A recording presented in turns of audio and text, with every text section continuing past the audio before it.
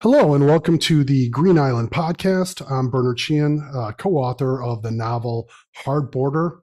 And on the other line with me is my co author, uh, James Sheehan. Um, Hard Border is available on Amazon and Barnes and Noble. And as the name suggests, it's a novel set in Ireland around the time of Brexit.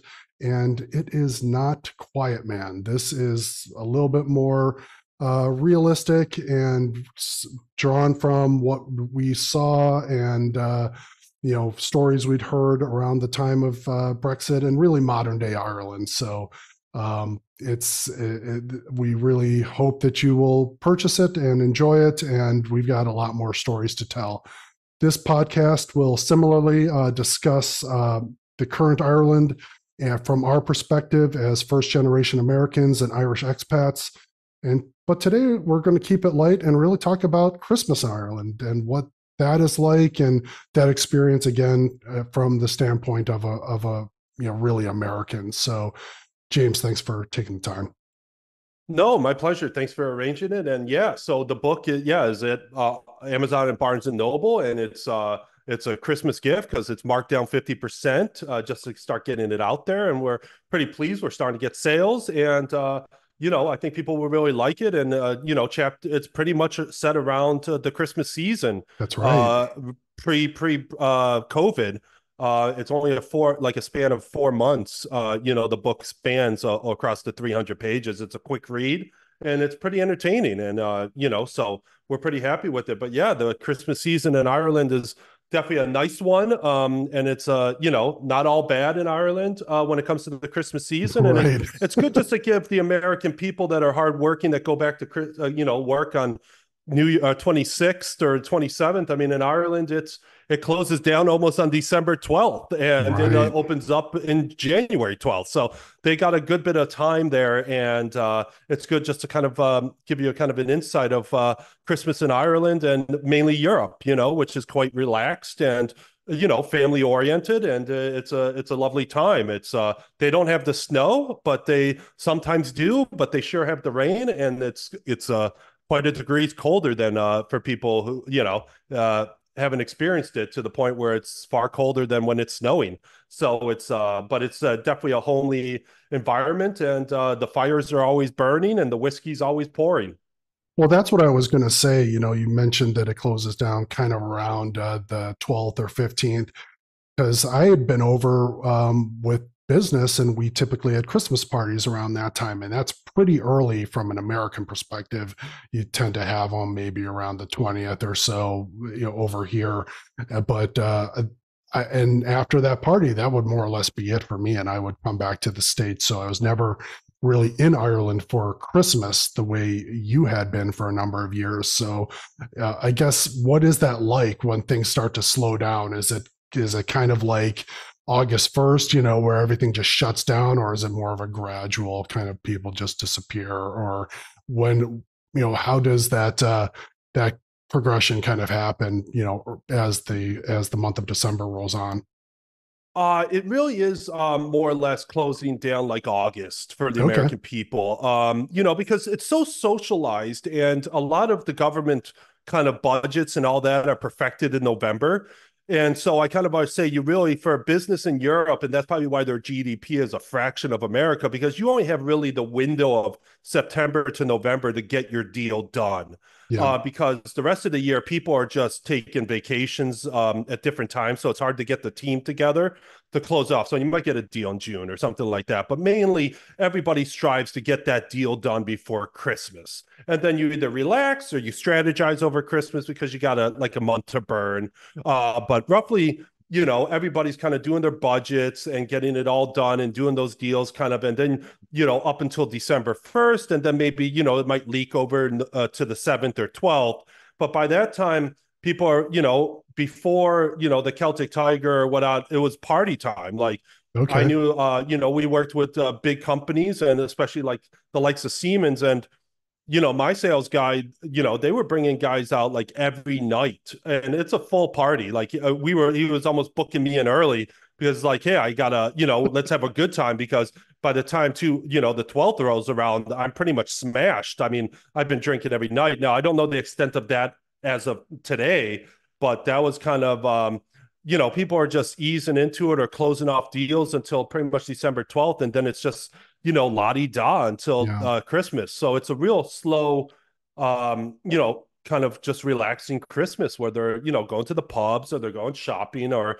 you know, they're doing some business, but it's not, uh, things have to be done by November 30th or you're kind of, uh, or at least kind of the 15th of December, your goose is cooked. Yeah. Uh, really, because January, December 15th to January 15th, you're not, even if you want to get deal done and it leaks to that point, um, they're not ramping back up until like, you know, January 15th. So your deal's not being done until 15th of February, 15th of March. You know, it's just the way it works. It's a, and by God, you know, and then there's probably one or two vacations that people are taking in between that to kind of mm-hmm. because they take a month off. So they need a, a, few more vacations to kind of get back into the swing of things, you know? Uh, and that's the benefit of uh, having six, eight weeks of vacation time in Europe. They really do like it and they do use it. And your Ryanair flights and a uh, hundred bucks to any place in Europe.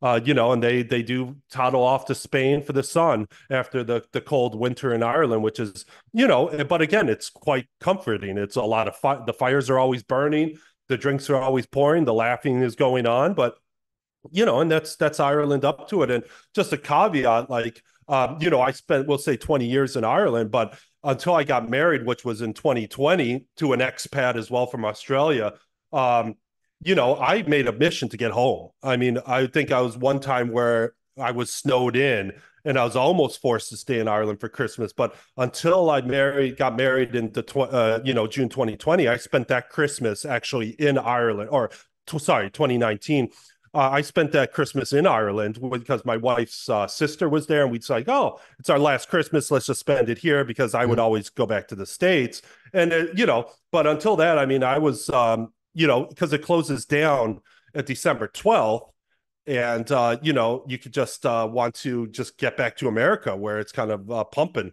and well, getting was, going. So that's what I was going to ask you, though, like um, because in August, once that that hits and people start going on holiday. It's not like the US where they're on holiday, but they're checking their messages and odd time they'll call you back. Or, you know, even when I had vacation here a couple of weeks ago, um, I was uh, I was by the pool, the phone rang, I recognized who it was, and I took the call. But in Europe, that is not going to happen if, for the summer holidays. And we'll be talking about that when we get to August. But is it the same way at Christmas, like December 15th, and people don't even answer the phones? I think you were saying, like, you know what, we can strategize. Maybe we're out partying or talking and stuff, and you, you're still meeting up with people, or is that it? Talk to you again in January. It's pretty much that's it. I mean, you could have kind of a loose text here and there, but there's no engagement. I yeah. mean, the law firms are closing down, they're having their Christmas parties. Um, you know, it's it's just everything's closing the accountancy firms so pens are down and no one really wants to think about it because usually these guys they're not invested. I mean they're right. it's not their projects. They're they're just the the pens are down for them so it's hard to get anything moving after again november 30th but again it does leak. So you buy those two two weeks in december to finish off that deal but after the 15th of december it's you know, there might be a few qu- kind of things that people are just cleaning up, but there's no significant. And if you text them, you'll be lucky to get a text back in a couple days. Yeah. And that's the difference between the American thing because I have never had really a vacation. I mean, because it's project by project and you're always on the line. I mean, I might not call you back on Christmas, but I'm sure calling you back the day after or the day before. I mean, so it's, uh, it, it, it's a different mentality and they they uh, live to vacation rather than or however it is. It's uh they live to work or work to live and we live to work you know yeah. or we did. And it's uh i just I, I always check my phone. I'm always on. And uh, that's just how i feel comfortable doing it you know? Well that's the thing you'd mentioned too about people hopping on uh, cheap ryanair flights and uh, heading out of town. But it seems like christmas would be more hey, we're going to stay. We're you know we're going to stay at home, like you say, light the fire, uh, pour some drinks, and uh, just have just have some conversation. You know, that's that's a big part of the the culture too. When it gets to be cold and wet, let's just get the fire going and uh, you know sit around and chat. but pretty much. know. I mean, but you still have the golfers are out there because it's only wet. It's just you know, so they are they are still golfing yeah. minimally, but you can't stop the good golfers in Ireland. But that's virtually it. It's it's actually quite boring. Um, it's okay. nice, but like you could do one or two or three days of it, but lingering around the house for seven, 14 days is just mind blowing to me. I need to go somewhere. I need to do something. I'm off to, you know, wherever. And that's why I was just like, I would head tail back to America, where it's like, you know, I have two, four, three weeks of just nonstop because you're meeting friends that you haven't seen or whatever. So I'm moving where it's like they're just going back to their hometowns. And the Irish are very much home birds. Uh, you know, they do go back to Cork or, you know, even, you know, the Midlands or Galway. And they're just, you know, going to the pubs and having a good time. And I, you know, it works for them. And I, you know, after Christmas, it's whether they do, do that, do that vacation, but usually they don't. They still just stick around Ireland mm-hmm. where most Americans are like, hey, it's the 26th, 27th. I'm going to head down to Florida. I'm going to, you know, go, go skiing or whatever. They, they usually do hang around and it's like, well, I'm going to go on vacation in February, you know, right. to Spain uh, or March. And it's like, I'm going to use up another week or two because, uh, like, you know, I was on vacation for three or four weeks around the house and I'm going back to work, but I, I have that lethargic feeling. I'm going to need a, a vacation for after my vacation, so to speak. And that's really how it works. And uh, so it's a hard, it's a hard to get going. And that's, uh, as you can imagine, why you know Europe is not as economically productive as America, where like yeah, you could you know you can get Christmas Eve or Christmas Day off and get back to get back to it, you know, or or even St. Stephen's Day for and for the Americans, that's the day after Christmas. In UK, that's called Boxing Day. Mm-hmm. I still don't understand. Understand, I guess, why it's called Boxing Day. Maybe there's big fights that day, or I don't know. But, no, there's a different um, reason, but we can get into that. Uh, yeah, you know, uh, uh-huh. it's a uh, it, there's an explanation there. On the 26th of December, St. Stephen's Day in the Christian calendar, people in America go back to work. But in Britain, Canada, Australia, and New Zealand, they don't. In these countries, the 26th of December is a public holiday. It is called Boxing Day. This name has two possible origins. Some say it has this name because in the past, English masters gave their servants a box with small presents or money on the 26th of December. Others say it has this name because churches had boxes for the poor. People put money in these boxes, and the churches opened them on the 26th of December and gave the money to the poor.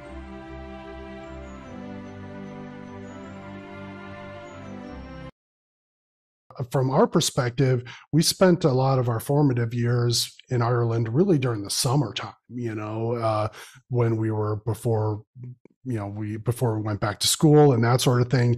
And you had super long days um, because it was the, the middle of summer. And I think people forget really how far north Ireland is.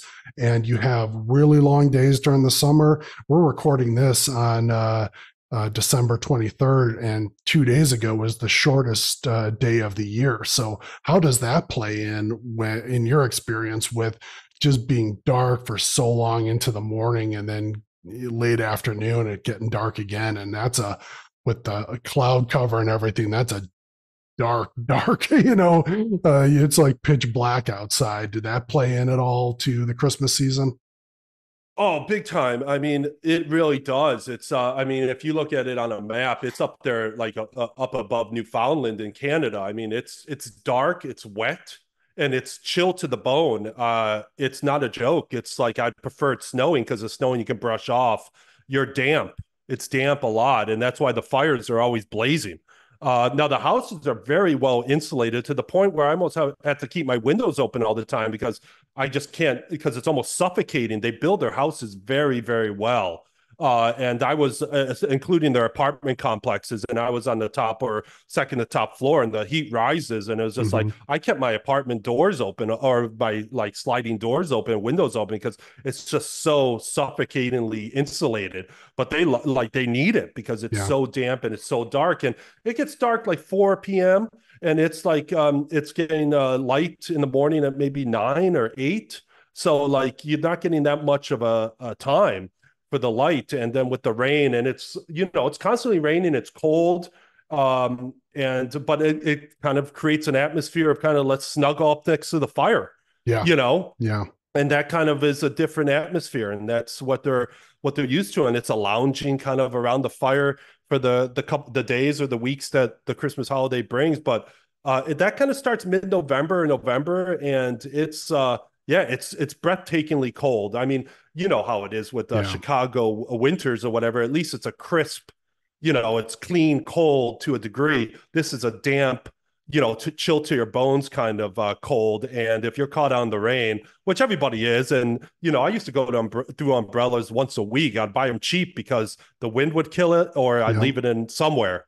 And that's just the story of Ireland. Well, in the U.S. too, if it's snowing, um, you've got that snow as kind of something of an insulator, but it's also reflective so that you get the sun or the light from the moon, you get it off of the snow. So it's not pitch black when there's snow out versus when it's cold and damp and it's just and you've got that cloud cover it's it's just hard to deal with but you know i guess that's like you say it's an excuse to stay by the fire either have uh, something to drink or even just get the kettle on that sort of thing but I guess with Christmas, yeah, their yeah. cup of tea. They yeah. love their cup of teas and Definitely. or the co- mainly their cup of teas, and uh, it's a it's an easy way to just uh, lounge into it. They're going to watch their rugby. They're going to watch their golf. Um, you know, and uh, the Christmas movies, and it's quite a good family atmosphere though, because again, they're very much home birds. So they go home to, you know, maybe they all work in Dublin, but they definitely migrate back home for the holiday season.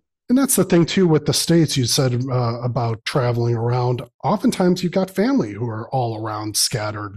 Not everybody's back in the home uh, state, even much less the hometown. So it's uh, it's it's definitely there's a lot more travel here, um, you know, on the U.S. side by necessity.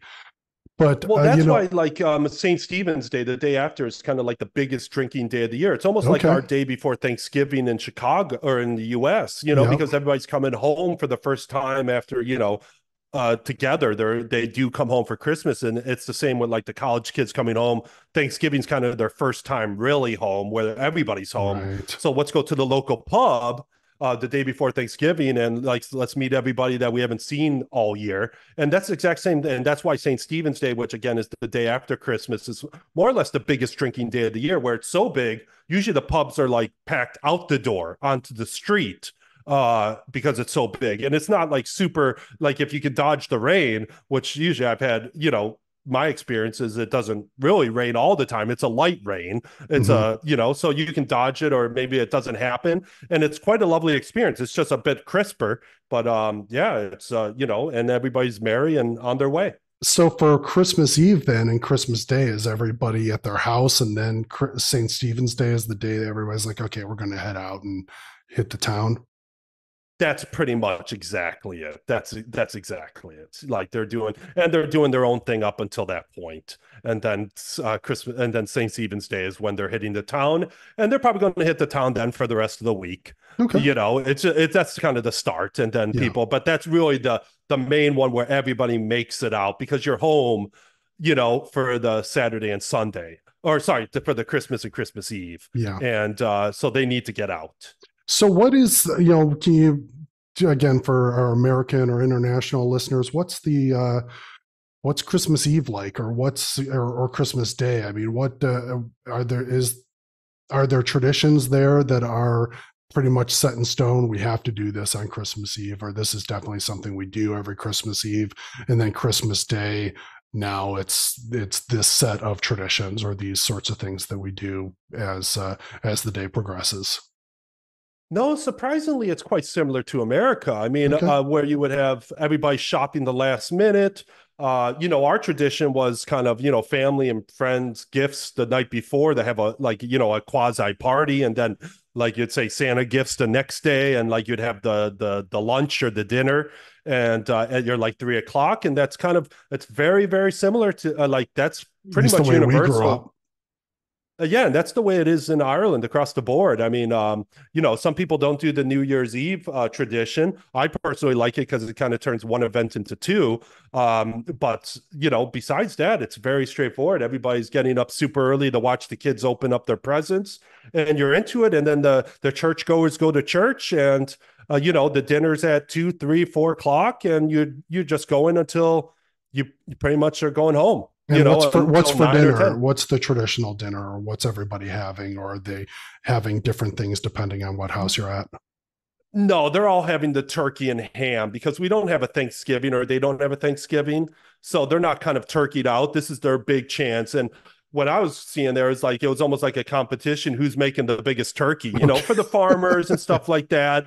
You know, we have a big turkey and and even on St. Stephen's Day, like there's um Ireland's pretty pretty big with regards to like their hunt you know and so like the farmers the hunt is kind of like a fox hunt. Mm-hmm. and a lot of uh, outside rural ireland everybody likes has their horses and they'll do their their hunt. And uh, it goes through everybody's like farms and stuff. And the farmers would like have they build make such big turkeys and hams that they would have like sandwiches for people that wanted to stop by. Even if it was just like oh there's there's johnny's house. I'll go say hello johnny. And yeah. johnny or johnny's mom has sandwiches ready to rock. And that's kind of you know hard border kind of goes into that in chapter two and three and four uh, you know about that little christmas tradition but the hunt is uh, for the rural part of Ireland, outside the cities, is a pretty big deal, and uh, so they're building. the The farmers are making some pretty big turkeys, and uh, you know for that kind of tradition, and it's but it's everything. It's turkey, it's ham, um, and you got to understand like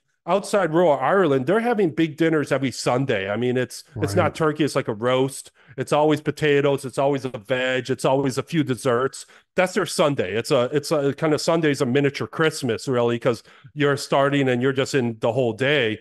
Uh, and that's but Christmas is more like okay, you got your gifts. It's more, more merry. Uh, you know, a lot more people are coming over because a lot of people do jump between houses just yep. to visit. So they'll have their dinners at three or four, and then they'll go on a tour of kind of I'm going to go over to Johnny's house and have a whiskey, and then I'll move on to you know uh, Deirdre's house, and they make the rounds because again, when they all go home, they all have cousins everywhere, yes. and they all want to go to see their cousins, yeah. and uh, you know they're all drinking, they're all having their own kind of thing, and you know they get pretty big, and it, there's a lot of laughing, and so that's kind of their, where in America maybe you're just sitting in one place.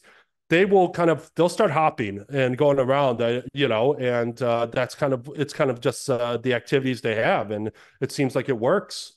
So, and and as you said, out in the country or kind of the rural areas, um, it's very much a drop-in culture. You know, to say I'm passing by, I'm going to go into the house, or I'm going to stop by and see what's going on, see what's happening there.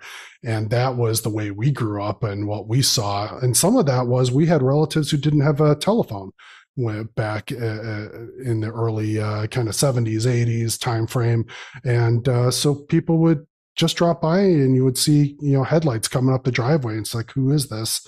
And you didn't mind who was uh, coming up. So it sounds like Christmas time is really that on steroids, where everybody is doing that. Everybody's out and about, and that's the way it goes for at least those couple of days, if not uh, through the week.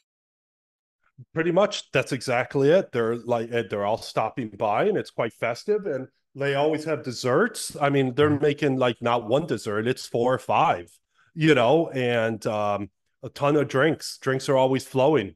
Drinks, and they're very. It's very a hospitable season because you know, like we have all our aunts and uncles there, and you know, you're staying even on the Sunday if you just the Sunday dinners. There, you're you're not without a an, an alcoholic beverage in your hand if that's your thing, or you know, a cup of coffee or a biscuit or whatever it is. So it's always kind of like keeping you fed, and there's always starters and so it's a really quite nice, and it's always packed. It's yeah. like you know, a cousin's coming from every direction. I think that's the benefit of going home.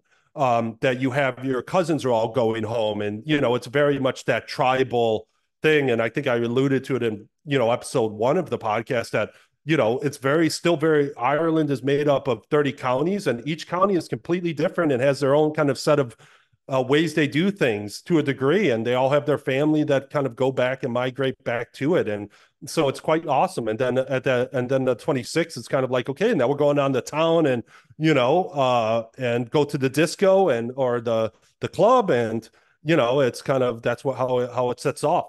Yeah. Well, you know, that's the thing. It sounds somewhat idyllic, you know, something of like Lord of the Rings, the Shire type of attitude of, you know, just uh, sitting around uh, again, kind of uh, smoking the pipe and and those sorts of things back in the day. But there is still a big part of that in in the culture. But it's it's great that that is still the case. Um, I know we talk a lot about some of the things that are going in Ireland that aren't all that great and uh, some things that are really good and traditional and fun and wholesome still do exist. So we definitely want to touch on that, uh, you know, for the Christmas season and remind everybody of that. So this has been great, Jay. But again, thinking of that, just in that regard, though, we're talking like this homeliness is in the rural part, and that's the part they want to collapse. I mean, they want to kill everybody's cows uh, for the environment, and they want to make everybody a coder. Uh, those are those are the values that uh, the man wants to see God, and that's the, those are the right. those are the things they want to. Uh, I mean, I don't think I don't spend the I haven't spent time in Christmas and uh, Christmas time in Dublin particularly. Uh, it was always going out to the country for these sort of events. I mean, up to a point, you would spend in in Dublin, like just for the shopping, and it's all you know very festive and great and like you know good time but that homeliness that we just discussed is not i haven't seen i don't know about it in dublin. I only know it in the rural but the stopping by i don't think you get that in dublin. Uh, that's very much a, a, kind of a country outside dublin yeah. uh, should we say. I, yeah. i'd say cork is very much like that as well which is the second biggest city in ireland and galway the stopping by mentality would still be very much alive. And uh, but in dublin they're they're very much more uh, modern or so they would like to portray. And I don't know if that really goes on as much. I mean, it's it'd be more almost American where it's like, you know, we're going to go over to mom and dad's house and uh, you know have the dinner and get on with our lives. But there's no kind of sitting by the fire for two days while people are dropping by on their right. horses, hunting a fox or whatnot, you know, or going golfing and coming back and etc.